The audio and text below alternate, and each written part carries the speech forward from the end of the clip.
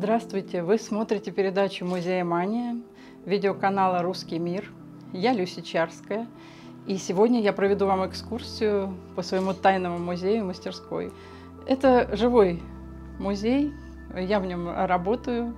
А, здесь проходят лекции, здесь есть постоянная экспозиция, а, рождающиеся работы, работы различных художников, которые я показываю на выставках.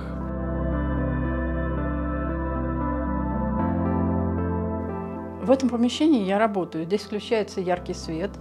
И когда я остаюсь одна, я пишу, выполняю разные заказные работы, портреты, пейзажи, жанровые композиции.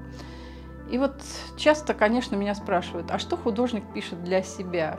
Вот что вы пишете для души? И здесь это можно видеть. Здесь э, сложилась стихийная экспозиция картин на духовную тематику. В основном про ангелов. Постепенно получилось, что это стало моей любимой темой. А началось все вот с этой работы. На тему Александра Невского «Явление ему Бориса и Глеба». Пелукси ему возвещает, как Борис и Глеб на огненной ладье прибывают и э, говорят о помощи в предстоящем сражении и защите Новгорода. И прежде чем э, приступить к работе над этим полотном, я решила, так как изображены святые, получить благословение и получила благословение знакомого батюшки. Настолько на меня это подействовало, что именно после этого у меня и пошли ангелы. Ангелы пишутся на специально подготовленных холстах, а, оставшихся между заказами краски на палитре. То есть я пишу абстракцию и через некоторое время позволяю на ней проявиться неким образом. Некоторые даже вот э, триптихи, они даже не были так задуманы, они родились такими, они проявились. Как сказала одна моя очень хорошая посетительница, э, что мы не создаем ничего нового, мы проявляем то, что создано. Зеркальный человек – это тоже ангел. А, он был создан э, в 2007 году. В моем музее он пожалуй, является моим любимым экспонатом. Проект «Новый ангеларий» объявил художникам изобразить в наше время, как мы представляем себе ангелов. А, экспозиция была в Музее современного искусства в Ермолаевском переулке. Был сделан даже каталог, вот такой интересный, в виде треснувшей подушки. А, здесь э, собраны очень интересные художники различных направлений. И вот моя работа. А, когда я создала э, этот объект, я помещала его внутрь зеркального куба, где он отразился сам в себе. В каждой его грани отразились его же грани. И мне это напомнило о измельчении до бесконечности, вплоть до темной материи, из которой состоит наша Вселенная на 90%. То есть темная материя – это некое вещество, которое не поймали, не изучили, но доказано, что оно есть. Оно не а, взаимодействует с, э, с веществом, с материей и пронизывает нас ежесекундно и несет информацию о первом взрыве. То есть для меня это явилось символом чего-то ангельского. А, это полотно называется «Квинтэссенция». А, квинтэссенция – это пятый элемент или пятая сущность. На картине изображена пятая стихия – эфир, тончайшая, пронизывающая весь мир душа, дух мира, одухотворяющая все тела. Природа – это живое целое, пронизанное единой звездной душой, невидимой и не связанной ни с чем.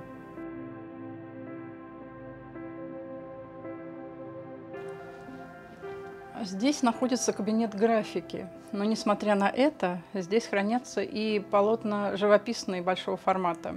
А, скажу сразу про это полотно. Эта картина была написана в рамках проекта «Красные ворота против течения», где ряду художников было предложено изобразить и проиллюстрировать темы просветителя XVII века Амоса Каменского.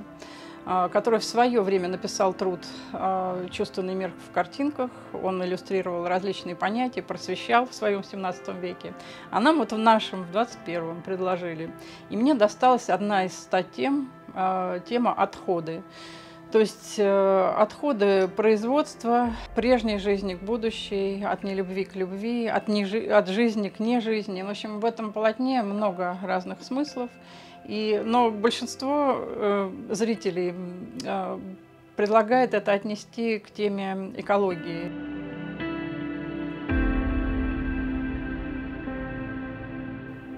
Это мой кабинет. Здесь я работаю над мелкими эскизами, над размышлениями, над проектами. Вообще хочу сказать, что в данном помещении до меня а, работал фотограф Александр Стернин. И он жив, мы дружим. А, он мне оставил это все в наследство. От него мне достались некоторые артефакты, которые а, демонстрируют как раз слои времени. Например, пианино с клавишами из слоновой кости, резьбой в стиле модерн. А, советский несгораемый сейф а, стоимостью 31 рубль. А, ящики для картотеки, теперь у меня там хранятся краски, все используется. Почему я говорю, что мой музей живой? Здесь нет застывших предметов. Здесь э, можно все потрогать, здесь можно все рассмотреть, подвигать, а главное, это все живет жизнью.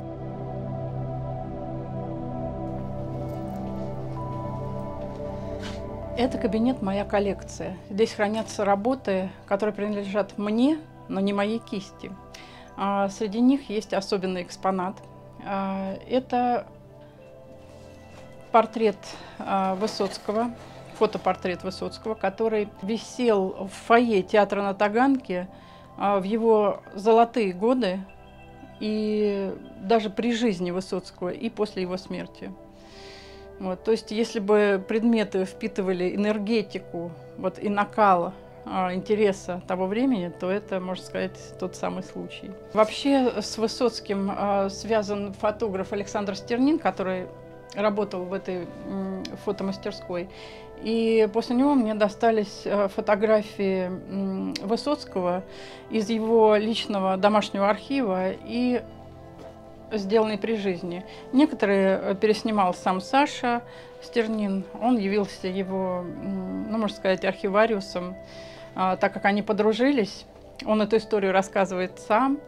А, и здесь можно наблюдать, э, помимо известных фотографий Высоцкого, начиная с его детства, до редких и очень интересных снимков семейный альбом Высоцкого, который могут полистать любые зрители. Здесь я хочу сказать, что я примкнула к художественной династии Чарских. А, мой первый муж, художник Евгений Чарский, его бабушка и дедушка, известные художники, академики а, Чарские, и его отец тоже. А, значит, вот он сделал такой каталог. У меня есть несколько работ а, этой династии. А, вот, значит, Ирина Алексеевна Чарская.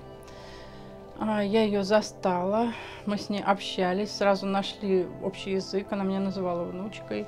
И я очень люблю ее творчество, оно очень разнообразно. И я с гордостью ее о ней рассказываю, ее представляю, изучаю и поддерживаю память и известность творчества. Вот у меня есть некоторые работы Ирины Алексеевны Чарской. Также ее муж, дедушка моего первого мужа, а, Евгений Гаврилович Чарский, они академики, закончили Ленинградскую академию художеств имени Репина.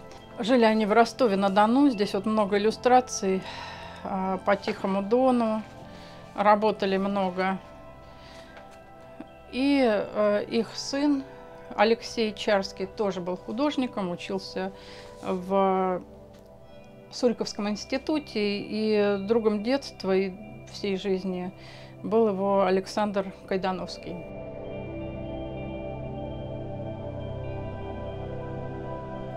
Наше путешествие смогло охватить далеко не все уголки, загадки и интересные моменты моего музея кто интересуется историей, искусством, процессом создания произведений, кто хочет раскрыть какие-то загадки творчества Я приглашаю посетить мой музей по предварительной записи.